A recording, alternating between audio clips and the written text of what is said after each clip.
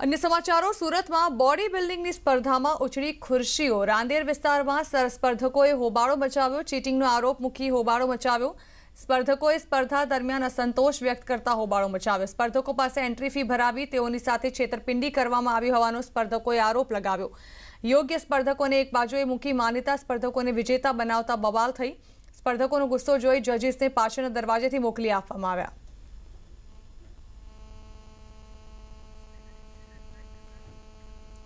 સુરતમાં એક યુવતી ડ્રગ્સના જથ્થા સાથે ઝડપાતા ચકચાર મચી ગઈ. રેલવે સ્ટેશન નજીકથી એકસો સત્તાણું પોઈન્ટ ચોરાણું ગ્રામ મેફેડ્રોન ડ્રગ્સ સાથે આ યુવતી ઝડપાઈ ગઈ છે. એસઓજીની ટીમે લગભગ ઓગણીસ પોઈન્ટ ચોરાણું લાખના એમડી ડ્રગ્સનો જથ્થો જપ્ત કર્યો છે. જથ્થો આપનારા મુંબઈના બે આરોપીને વોન્ટેડ જાહેર કરવામાં આવ્યા છે.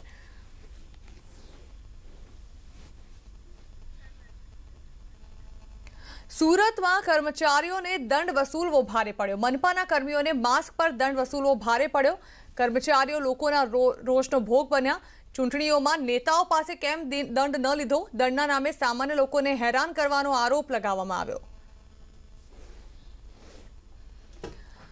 તો આ તો થવું જ હતું, કારણ કે જે પ્રકારે બેફામ બનીને નેતાઓ ચૂંટણીમાં પ્રચાર કરી રહ્યા હતા અને માસ્ક નહોતા પહેરી રહ્યા, ત્યારે તેમની પાસેથી કોઈ પણ જાતનો દંડ ઉઘરાવવામાં ન આવ્યો અને હવે સામાન્ય જનતા પાસેથી જે પ્રકારે માસ્કનો તોતિંગ દંડ ફટકારવામાં આવી રહ્યો છે, તેને લઈને લોકોમાં ભારોભાર રોષ પ્રવર્તી રહ્યો છે.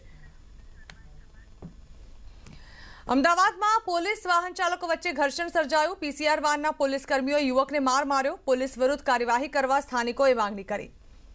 પીસીઆર પોલીસ કર્મીઓએ યુવકને માર માર્યો હતો. પોલીસ વાહન, પોલીસ અને વાહન ચાલકો સાથે ઝપાઝપી થઈ હતી જોકે ત્યારબાદ પોલીસે લોકોના રોષનો ભોગ બનવું પડ્યું.